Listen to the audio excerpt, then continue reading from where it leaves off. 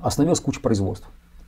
Благодаря вот, вот э, в общем-то, достаточно придуманной истории, связанной э, с якобы пандемией. Причем в Китае все хорошо теперь. Вообще да, нет. Так нет, они вообще молодцы. То есть они жестко э, выстроили в выстроенной системе, в военной системе, угу. да, грубо говоря, а выстроили работу просто.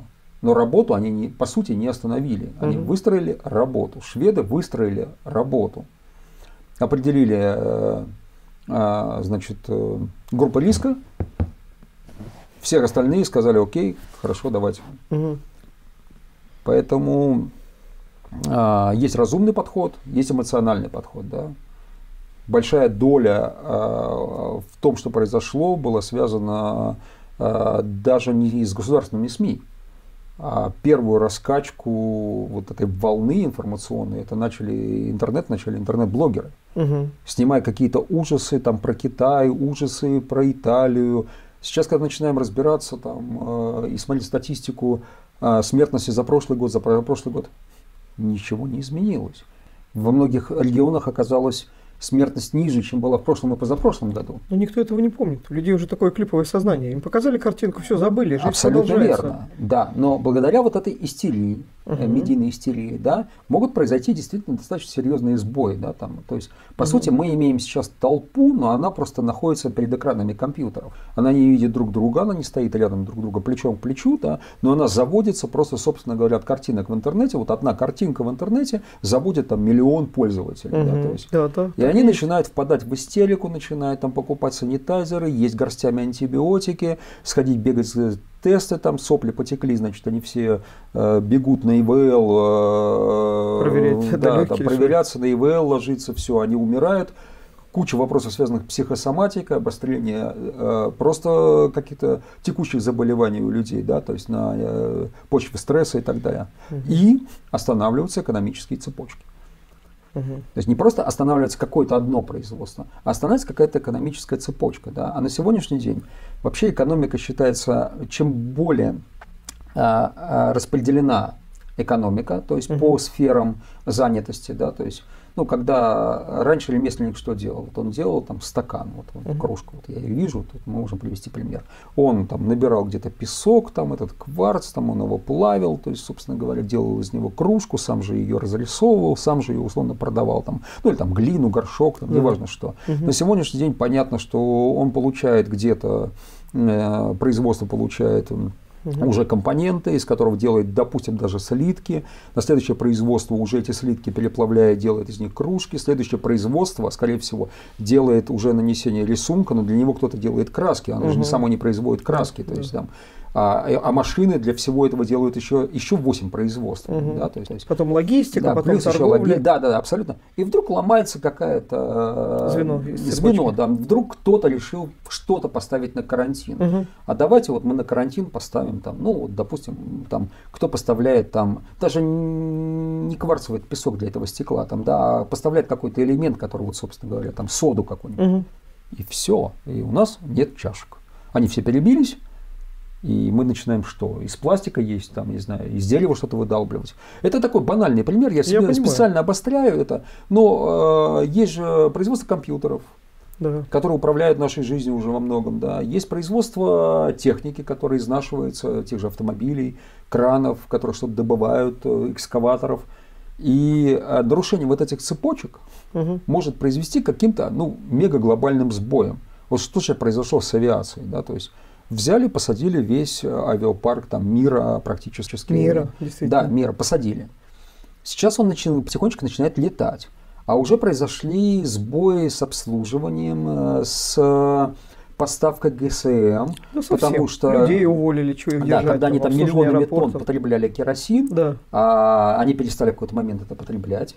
А, что-то нужно было нефтяным заказом, э, заводом куда-то его сливать uh-huh. или тоже останавливать свое производство. И начинается вот это вот, э, ну, условно говоря, вот этот вот экономический хаос, угу. который приведет к глобальному падению э, уровня жизни. Угу. На 1%, на 3% по миру. А мы еще должны понимать, что в каких-то странах есть большие запасы и мощности, да, то есть, а в том числе производственные угу. мощности, как Германия, да. А есть страны Африки, которых вообще их практически нету. Угу. Ну, там, России, в которых очень мало. Да. Если Германия просядет на 3%, то Россия может просесть на 10-15%, а Африка может просесть там, на 90%. Угу. И давайте подумаем, какая смертность будет вот в этих регионах. Да. Насколько, ну, понятно, что как только у тебя просел ВВП, мы не можем закупать медикаменты. Опять, вот мы опять возвращаемся, да? да. Мы не можем а, закупать еду в определенных объемах.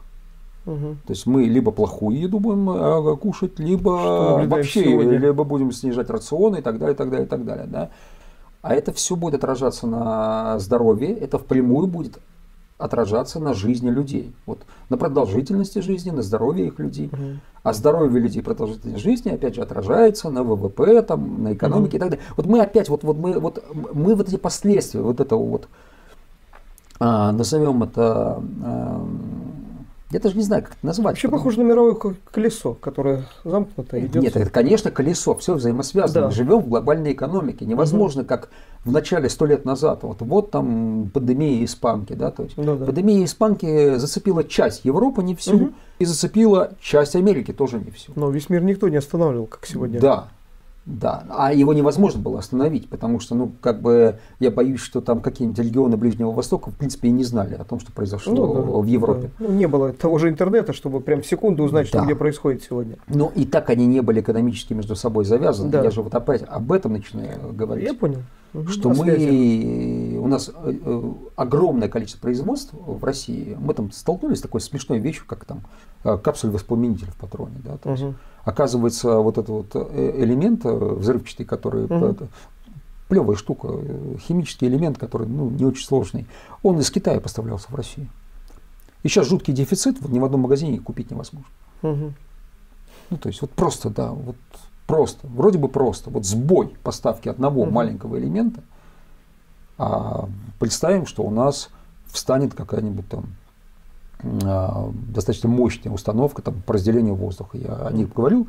Но просто вот это вещи, о которых люди вообще никогда, они даже не знают об их существовании. Вот они могут прожить всю свою жизнь и даже не знать, что вот есть такие установки по разделению воздуха. Ну, понятно. Что у нас там кислород, азот, углекислый газ получается не путем там синтеза каких-то там а, веществ, да, а просто разделяется воздух на, на мощных там центрифугах и, собственно говоря, получаем какие-то газы. Нужны они нам? Ну как? Вот кислород там для больницы вот вроде нам нужен, да, там вроде, да. Ну, на самом деле там, я думаю, что там львиная доля, там больше 90% его используется не в больницах, да, а используется в металлургии. Знаете, мне о чем говорит? Вот вы начали с Америки, да, когда несколько штатов обесточилось. Такое впечатление, что человечество сегодня глупеет. Люди не замечают ничего до тех пор, пока не остались без воды. В туалет не сходишь, э, там, лицо не умоешь, воды попить негде, да, свет отключили и все. Но вот, продолжая наш разговор, знаете, я поймался на мысли, что есть другая сторона всего. В обществе какой-то массовый такой скептицизм. Люди не верят, что это возможно, что это будет. Вот помните U2K, скандал, ну, такой большой, mm-hmm. на рубеже 2000 года, вот переход тысячелетия, все эти фильмы, Голливуд там создал массу фильмов, как это будет, там все прекратится. Это ничего не прекратилось. Я вспоминаю, мой друг приехал из Америки, пастор одной церкви, и говорит, все, надо компьютеры менять туда-сюда. Я скептик был. Я говорю, отстань от меня. Что в России делают? Я говорю, ничего тут не делают. Пойдем за 3 доллара, там, за 100 рублей купим диск и загрузим все ваши программы буржуйские там. Как это нелегально? Я говорю, как нелегально? Тебе даже чек дадут на 100 программ в одном диске. Я говорю, и люди уже, ну вот видят, и это не произошло, и то не произошло. Ну, не фантасты ли мы с вами сегодня? Не фантастическую тему обсуждаем? Нет, мы обсуждаем, э, во-первых, мы обсуждаем реальность. Реальность. Да, и реальность такова. Вот, э, я говорю о том, насколько медиапространство и какие-то вещи в, в социуме да, могут влиять на реальность, на нашу вот физическую реальность. Но это реальность, вот. которая не вписывается в мозги простого человека. Они не хотят этим жить и понимать этого. Ну, Дайте а... мне поесть. Вот, ну, нет ощущения, что настолько нам уже быстро внедрили общество потребления в России, что люди вообще отвыкают думать, размышлять. Не сталкивались? Я не вижу проблемы термина общество потребления. Да, там, угу. ну, кстати говоря, ввел его, насколько я помню, это отчасти это об этом писал Жак Бодрияр, да, то есть. Угу. И еще у него книга замечательная есть, это «Симулякры и симуляции». Угу. Соответственно, там как раз описывал о том, что мы напрямую уже не воспринимаем действительность. Мы действительность воспринимаем э, через посредников. Да. То есть мы по факту знаем, что где-то идет война. Нам там 99% СМИ, населения нашей страны, там, ну, в нашей стране, может, чуть меньше, никогда впрямую с войной не сталкивалось. Да. Но мы все живем а, в эпоху какой-то глобальной войны, каких-то террористических актов, угу. где-то что-то взрывается, где-то кого-то убивают. Я не был на войне. Многие не были. Так но, вот об этом и речь, да. Но есть... на машинах пишут, мы можем вам показать, можем напомнить. Ну, это я не хотел бы обсуждать идиотов, условно говоря, то есть, да, то есть, э, что они могут напомнить, да, то есть, если они ничего сами не знают и не помнят, по большому счету, да. Вот. А, но э, мы действительно э, реальность давно уже не воспринимаем напрямую. И мы ее воспринимаем через каких-то посредников. То, как эти посредники нам показывают эту реальность, Такова она для нас и является в данный момент. Но есть проблема. А проблема заключается очень простая. Это соответствие а, реальности к тому, что мы о ней думаем. Ну, то есть мы в какой-то момент можем воспринять, что мы птичка, что мы умеем летать угу. и выйти с 12 этажа. Есть такое. Вот и все. То есть, да, вот мы сейчас как раз говорим примерно об этом, да, то есть, да. что мы а, можем а, очень долго рассуждать о глобальных каких-то проблемах, каких-то катастрофах, которые могут быть, могут не быть. Давайте их соизмерять э, с тем, что, а вот э, как оно реально существует, угу. да, то есть потому что у нас очень, вот я занимаюсь охотой, там, да, там мы там ночами проводим там в лесу где-то там, э, бегаем по каким-то полям и так далее, да. И когда ты вырываешься из э, городского мира, у тебя нет компьютера, у тебя нет телефона, у тебя, ну, он просто не работает, он ну, есть, да. но он просто как бы он тебе не показывает ролики на YouTube больше. Вот. А, и ты сталкиваешься напрямую с холодом, а с дикими животными, с какими-то проблемами, с, с техникой и так далее, тебе это нужно проблему решать. И если ты думаешь, что ты все это знаешь и умеешь, вот с этого момента начинается проблема. Когда ты действительно этого не знаешь и не умеешь. Я очень много видел людей, которые думали, что они охотники, думали, что они вот-вот вот застрелили животное, сейчас мы его разделаем, пожарим печень, там все отлично, все. И при разделке человека начинает просто тошнить. То есть он э, не то, что он, он даже не разделывает сам, он просто рядом стоял и помогал нам разделывать. То есть то есть, э, потому что картинка в интернете, ну, красивая охота, другая, да. Да, да, вот представление об охоте и так угу. далее, это одно, а когда это кровь, кишки, там, шкуры, угу. запах э, и так далее, э, это оказалось для человека невыносимым, для его организма. Это вот опять вот всегда соприкосновение виртуального мира, реально. Угу. Надо всегда себя немножечко проверять. Вот я вот всегда говорю, ребят, давайте в реальность, вот давайте попробуем там, вот, там ножками потопаем, вот поэтому где там не проваливается, не болото, давайте пойдем дальше. Вот вы говорите, что неверующий, а говорите словами апостола Павла, который пишет постоянно, говорит, проверяйте себя, а верили вы. То есть но он постоянно... немножко о другом, я все-таки о материальном. А он тоже о материальном и о жизни, обо всем. О том, как вы относитесь к людям, ко всему, к этой жизни, к, ко всему. Это не, не оторвано от жизни, это и есть ну, сама жизнь. Есть... Всегда надо смотреть свою жизнь, лично заглядывать в себя. Это еще просто называют там выходом из зоны комфорта и так далее. То есть, но а, возвращаясь там, к нашей теме, да. там, угу. возвращаясь к нашей теме, мы должны всегда понимать, что важно, что не важно. Нужно оценивать риски, да, то, о чем мы говорим. Да. Вот если мы говорим там о пандемии, вот появился вирус, да, давайте его посчитаем, давайте посмотрим, давайте проведем сначала исследование, да, давайте посмотрим, а, что действительно происходит, а действительно так ли это страшно. Окей, мы решили, что это страшно, да, давайте посмотрим, а что вообще происходит в этом мире, да, мы когда-то происходило, да, была значит, э, пандемия там, лихорадки Эбола. Угу. Жуткий совершенно вирус, летальность 90%. Э, но проблема в том, что когда у тебя высокая летальность, он сильно не имеет распространения, потому что он очень быстро убивает носителей. Угу. Он локализуется, в деревню попал, в африканскую, вся деревня вымерла практически, да, там два угу. человека из ста ну, выжило. было, да. Да, это одна проблема, да, то есть а, давайте смотреть, что, с чем мы имеем дело. Да? И когда мы выяснили, с чем мы имеем дело, мы можем там вырабатывать рекомендации и говорит, знаете, вот мы имеем вирус тяжелый, поражает то-то, но поражает возрастную категорию 60 плюс. Значит, соответственно, мы считаем, что нужно там а, посадить на карантин, либо рекомендовать не контактировать, да, там людей 60 плюс.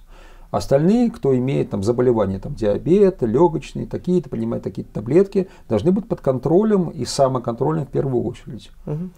Все остальные продолжают работать, потому что мы все равно все заразимся, потому что это воздушно-капельным путем РНК-вирусы, которые передаются, мы все переболеем, у нас у всех будет иммунитет выработан на, эту, на этот вирус рано или поздно, да, и мы выработаем так называемый э, популяционный иммунитет, да, при этом должно переболеть 85% популяции.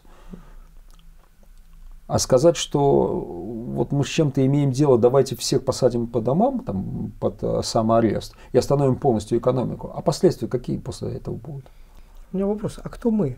Мы это ВОЗ, вот мы с вами рассуждаем. У населения, у большинства людей, просто которые где-то работают, там теряют что-то или находят в этом во всем, зарабатывают, или большинство сейчас обеднело население, они все думают, разве не государство этим должно заниматься? Я об этом не думаю, я плачу налоги, пусть они этим занимаются.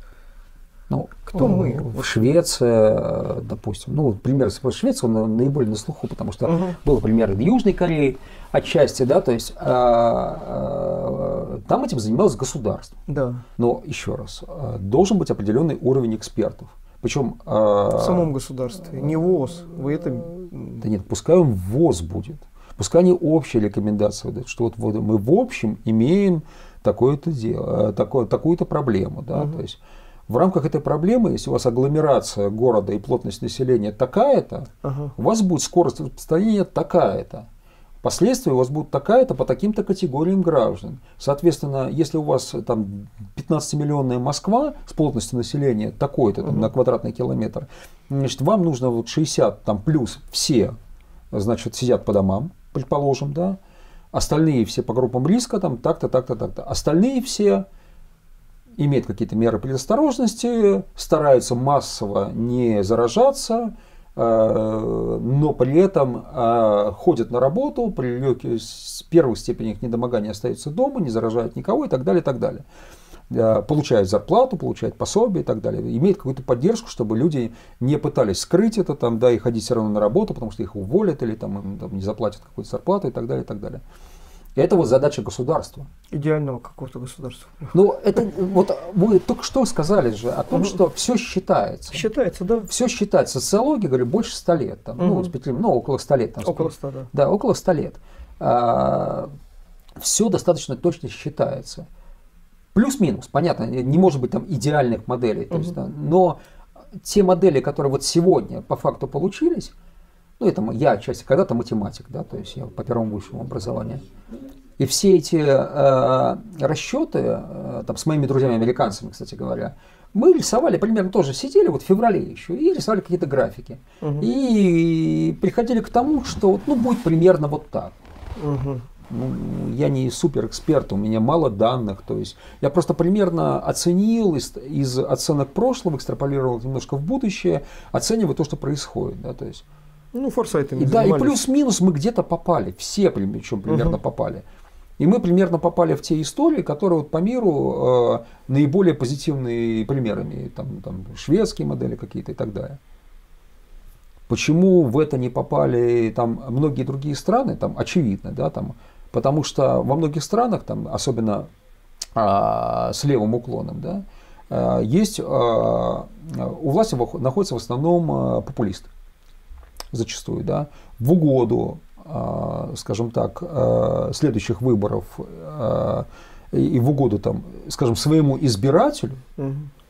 массовому, да, они вели себя наиболее, скажем так, понятным для него образом. Понятный образ, сидите все по домам, мы вам раздадим денег.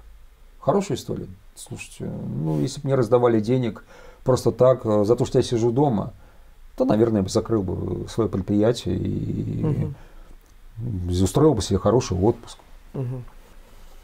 Не думая о том, что потом восстановить не Ну, я живу в частном доме, я могу вполне угу. комфортно сидеть дома месяцами, то есть, э, ну, если мне там, как в Германии, многим э, предприниматели заплатили денег больше, чем доход, который они получали с бизнеса.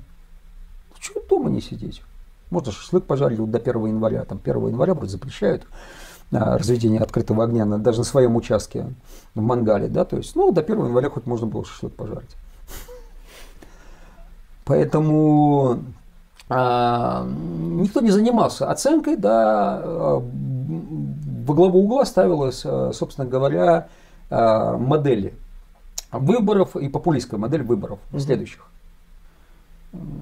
То, что это приведет к колоссальным экономическим потерям, Кого-то волновало, кого-то не очень волновало. У кого с экономикой и так все хорошо, их это не сильно волновало. Как Германию. Вот они, по-моему, до сих пор там на локдаунах сидят. А у кого с моделью экономической было так себе, то есть, да, то есть э, они все-таки головой немножко думали, то есть и э, не прекращали производство, то есть там и пытались сохранить именно экономику. Мы-то где? Где наша страна?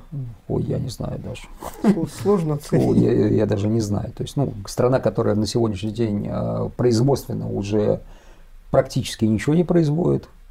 Ну, то есть производственный сектор просто... Я даже не знаю, что здесь производится, вот честно. Вот. Ну, кроме каких-то угу. остатков там, э, вот этих костылей там от Советского Союза оставшихся там, э, там какой-нибудь НЛМК, там, Северстали, это Норникель, это же все ресурсы, допиливающиеся на сегодня еще вот тех доменных печей, которые угу. там, ну что там реконструировали, там чуть-чуть говорят, там где-то что-то там, да, то есть, а, ну и все, то есть я, я не знаю, что мы производим, вот честно, вот я на сегодняшний день, то есть как бы угу. э, там мы ковыряем землю там на месторождениях, которые в 70-х, 80-х годах были разработаны, нефтепроводы, которые тогда же были проложены, угу. то есть вот остатки мы оттуда выкачиваем. Поэтому где мы находимся? Ну, общее мнение, что, наверное, Россия производит оружие, но судя по всему, что его Нет, это компонент... заблуждение абсолютно. Это... Ну, вот как с Суперджетом, помните, наш самолет, так гордим 700 этот, когда упал, сгорел, а виноват французы оказались сейчас. Массово подают к французам. Ну, я читал, в общем-то, количество компонентов в Суперджете, там, в общем-то, нашего, кроме места производства, от полимеров до всего оборудования, кресел, туалетов, дверей, э, навигационного оборудования, там, в общем-то, больше ничего. Двигателей, ну, вот ответ, что мы выпускаем. Нет. Но, что мы производим. В общем-то, весь мир что-то производит в коллаборации. Угу. Если Э, ну, как раньше можно... Советский Союз, заводы были раскиданы по всему не, Союзу. Ну, это все равно это было локально, на ну, одной территории. Понятно, да. На сегодняшний день э, никто не запрещает там, закупить э, процессор э, на Тайване, память купить там где-то еще там, не знаю, в Китае угу. и собрать из этого какой-то э, мегакомпьютер, дрон, камеру и выпускать под своим брендом, то есть и нет какой, никакой, никакой проблемы. Да? Проблема заключается в том, что это должно быть экономически выгодно. То есть в итоге ты должен получить продукт, который дешевле и качественнее аналогов в мире. Угу. Когда ты получаешь продукт, который дороже в несколько раз и абсолютно некачественный, даже близко не приближается к аналогам в мире, то непонятно, зачем ты этим занимаешься. Ну, логично. Ну, то есть, э, я тоже закупаю там бобы по всему миру, там оборудование какое-то местное, какое-то не местное, но мы производим там шоколад, который там мирового уровня, uh мирового класса. Но сейчас мы производим его здесь. Но он и по цене, и по качеству. Мне его покупают в Америку, меня покупают его в Швейцарию, можно смеяться. Но когда это первый раз купили, я так удивился, говорю, что вы делаете? Ну, да. да, то есть на что мне объяснили, что, в общем-то, ну, там, настоящий продукт такого уровня найти. Во-первых, он будет дороже, во-вторых, его надо еще искать. Угу. Поэтому то, что у тебя мы знаем, поэтому, в общем, нет проблем. И это дешевле, оказывается. Я говорю, все хорошо. Я не против, то есть, ну, просто меня удивило, когда угу. люди там в Швейцарию купили шоколад. Ну да. Все, часы купили у вас. Да, то есть это тоже было бы удивительно, да, то есть, ну, то есть, э, при этом я э, не сомневаюсь, что ну, в России же есть производство оружия, допустим, мирового класса. Угу но это все равно частные маленькие компании. Mm. На уровне заводов этого не производится. То есть то же самое там про любую технику. Локальное производство всегда хорошая вещь. Америка тащит со всего мира компоненты, что-то собирает у себя.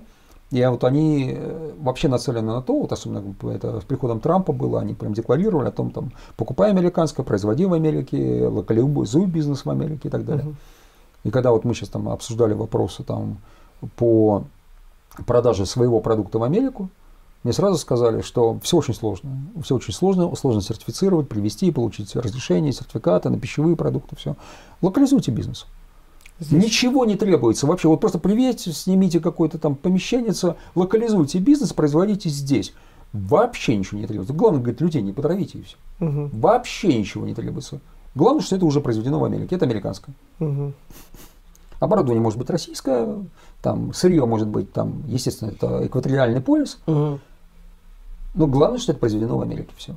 Никаких разрешений как таковых, ничего. Ну, там, вся твоя ответственность, ты должен не потравить людей. Если кого-то потравил, то, соответственно, тебе уже претензии судебные будут, там, угу. и так далее, и так далее. Все. Вообще вопросов нет. Все просто. Приезжайте, делайте бизнес.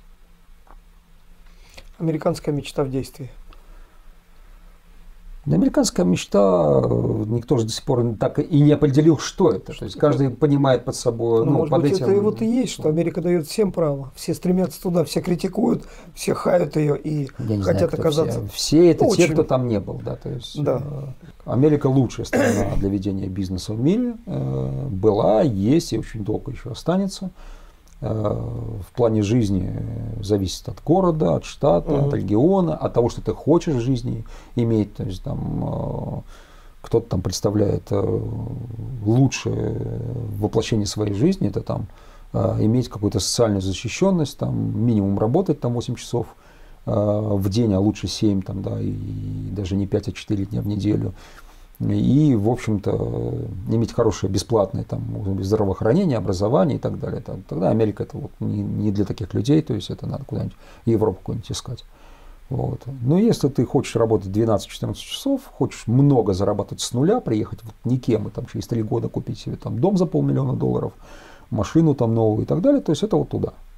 Это туда, то есть и она дает такие возможности, но надо пахать.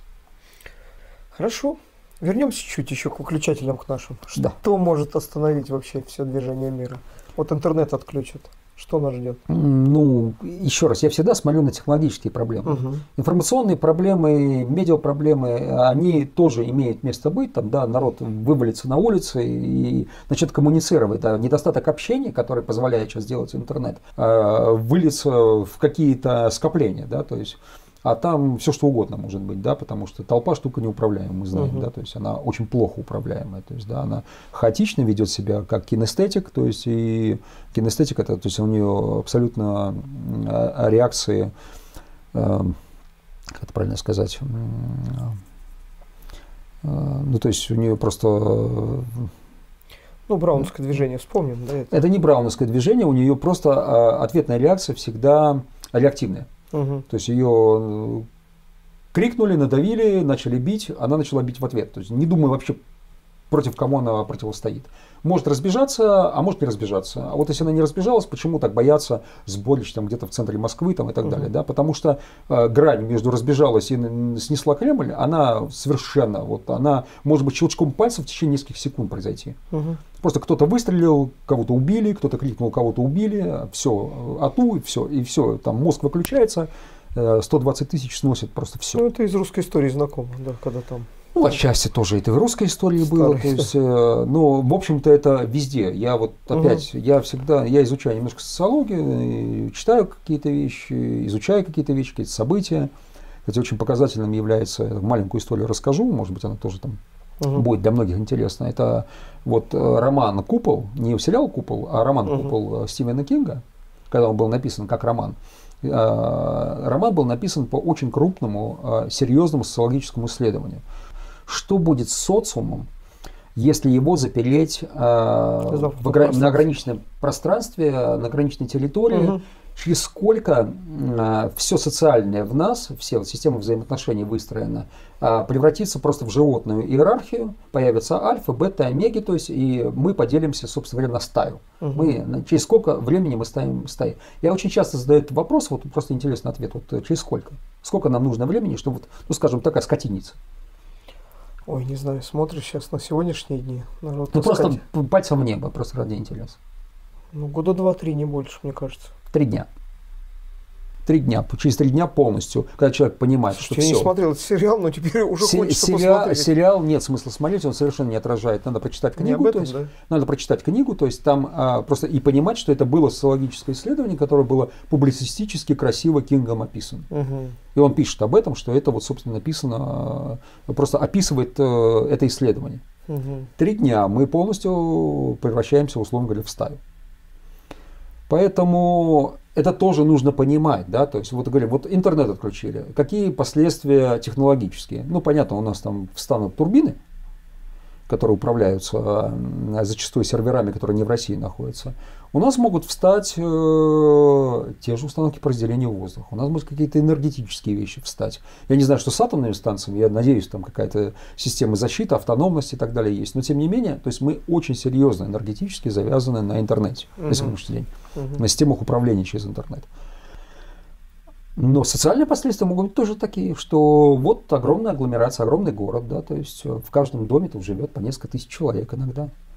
И они пойдут коммуницировать, допустим, между собой. Каким-то образом, да, то есть. э, И непонятно, во что это выльется. Вот я не знаю. Надо сесть и посчитать. А кто будет с этим справляться, а кто будет этим управлять, а кто будет э, с этим, гру- грубо говоря. То есть, а давайте отключим интернет и телефонную связь сразу, чтобы они не смогли друзьям позвонить и поговорить по душам. Ну, а между тем, те, кто должны с этим справляться, этим управлять, тоже окажутся без связи. В таких же Ну, равных есть условиях. системы, дублирующие на релейках, там, условно говоря, которые работают. То есть и у меня там и у группы товарищей есть рации, э, и рации работают с репитерами в Москве, кстати говоря, общие, которые можно связаться, и с кучей людей, которые подключатся и по рации могут как-то коммуницировать. Ну, понятно, что связь по рации, связь по, там, даже по телефону, это небо и земля, это, все-таки оперативная вещь, которая позволяет просто там, понять, что, что до чего. Потому что там такой хаос начнется, что, по сути дела, ты включиться даже не сможешь. э, Там, Неужто и голуби вернутся? М? Голуби вернутся. Ну, точно. голуби нет, я говорю, просто какие-то альтернативы связи есть, но просто они не- настолько не, Не массовые, широкие, да, не что массовые. непонятно, что будет делать, условно говоря, люди массово. Мгм. Что они будут делать? Я не могу сейчас предположить. Вот я говорю, вот мое первое предположение, что они выйдут на улицу. Особенно если погода будет позволять. Дальше они начнут как-то коммуницировать, как-то собираться. Что-то будет происходить. Мгм. Какие у них мысли, учитывая уровень недовольства на сегодняшний день э, э, в стране, ну, если мы говорим о стране, о нашей стране, да, то есть э, он колоссальный. То есть э, Ну, это сквозит везде. Просто. настроение растет. Да, это сквозит везде. Оно тихое, оно по домам, но это сквозит везде. А не зная, что делать, пойдут ли они там пешком или на машинах в центр, скорее всего, пойдут. А что они там будут делать? Ну, уже как бы очевидно, да, то есть Мгм. Хватит ли ума там не начать стрелять? Скорее всего, не хватит. Мгм. Все, ну вот, вот, вот, э, вот последствия там для нашей страны отключения интернета и телефонной связи может оказаться вот такими. Ну вот один из прогнозов.